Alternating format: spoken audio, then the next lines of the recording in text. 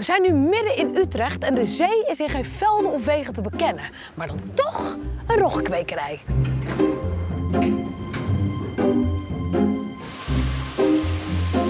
In deze bakken worden er op dit moment zo'n 300 stekelroggen gekweekt. Van alle leeftijden.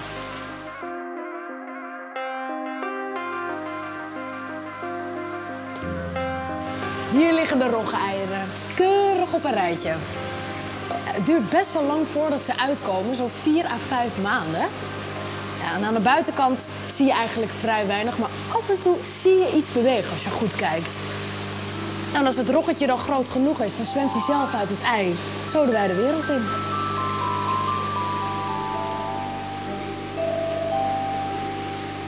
Ah, moet je kijken, deze zijn drie maanden oud.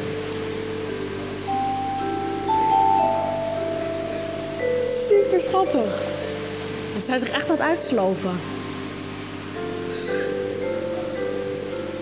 Kijk, deze zijn alweer wat groter. En hier kun je goed zien hoe ze er van de onderkant uitzien. Het is heel geinig, want dit is echt een soort ja, klein babygezichtje eigenlijk.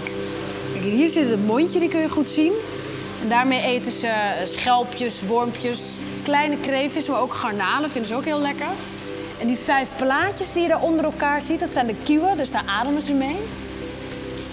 En daaronder zie je twee staartvinnen. En dat zijn eigenlijk, ja, dat lijken een soort beentjes. En daarmee bewegen ze zich door het zand. En nog verder daaronder, maar dat zie je alleen bij de mannetjes, zie je twee klaspers. En dat zijn de voortplantingsorganen. Dus dat zijn eigenlijk eh, ja, twee piebeltjes. Tijdens het kweken worden de vissen regelmatig opgemeten om te kijken of ze wel goed groeien. Dus op zo'n manier kan je kijken of het kweken goed gaat. Oeh, hij spartelt wel, hè? Ja. Ze vinden het niet heel erg fijn bij water vergaan. En waarom heb je dat glasplaatje nodig dan? Nou, dat plaatje zit eronder zodat hij steun heeft bij zijn vleugels. Dat hij het gevoel heeft als hij nog op de bodem ligt. Maar ze worden vanzelf op een gegeven moment weer rustig. En wat je dan kan doen, als ze wat rustiger zijn, kijken we aan de onderkant of het een mannetje of een vrouwtje is. Hier zitten hele kleine piemeltjes. Oh ja. Dit hier zo. Dus dit is een mannetje. En dan leggen we hem heel voorzichtig hier zo in. En dan doen we even een deksel erop om te voorkomen dat hij eh, te veel spettert. Dan is die 428,9 gram.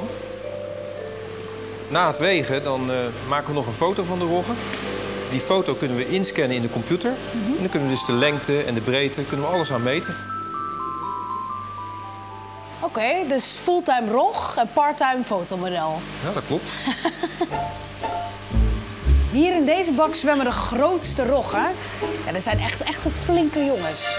En nu kweken jullie hier stekelroggen. Maar dat verbaast me eigenlijk een beetje, want de stekelrog is niet de meest zeldzame soort. Waarom kweken jullie niet de soorten die echt zeldzaam zijn, zoals de vleet? Ja. Kijk, als je een echt bedreigde soort wil gaan kweken, dan wil je daar geen fouten mee maken. Dus voordat je dat gaat doen, wil je eerst weten met een soort die bijna bedreigd is, zoals de stekelrog, die je goed kan houden om alle methoden, technieken te ontwikkelen. Ja, dus de stekelrog is eigenlijk een experiment. Ja, klopt. Dus een pilotsoort. Ja.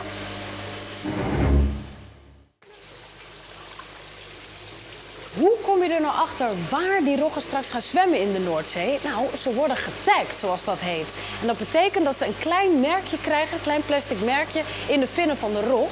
En daarop staat een uniek nummer en een website, sharkray.eu. Voelen ze daar nou iets van, Remco? Heel weinig, heel weinig. Weinig? Ja, ja. Luk- Zeker zometeen zal je zien dat ze heel snel herstellen en weer gewoon hun normale gedrag laten zien. Dit is, het levert wat stress bij ze op, Ja. maar daar hebben we het ook echt mee gehad. En dan zit er zo'n tag in en dan? Wat gebeurt er dan mee? Ja, uiteindelijk gaan we ze uitzetten en dan willen we ze dat, eh, dat ze met taggen al terug worden gevangen. Door sportvissers, beroepsvissers, maakt niet uit wie. En zo kunnen wij zien of de dieren overleven en waar ze naartoe zwemmen. Oké, dus eigenlijk om informatie te vergaren. Puur om informatie te verzamelen. Ja. De roggen zijn inmiddels groot genoeg. De tags zitten in de vinnen. Ze zijn bijna klaar voor het echte leven. Maar eerst moeten ze nog even oefenen in een veilig en beschermd stukje zee. En daarom gaan ze straks naar Ierseke in Zeeland.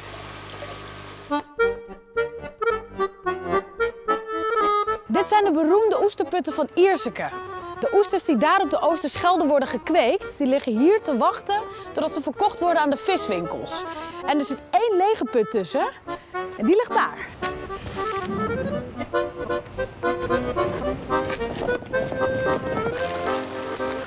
Oesterput is niets meer dan gewoon een stukje Oosterschelde, maar dan afgeschermd zodat er niks in en uit kan zwemmen. En de put wordt ook de hele tijd doorgespoeld met water uit de Oosterschelde, dat zie je daar. Dus ja, dit is de ideale plek voor de rog om te oefenen voor het echte leven op zee. De roggen zijn bij het kweken natuurlijk steeds gevoerd. Maar nu moeten ze het zelf doen. Ze moeten op jacht. Want ze moeten leren om op hun eigen voedsel te jagen. Want alleen dan hebben ze een goede kans om te overleven aan de andere kant van de dijk. Op zee dus.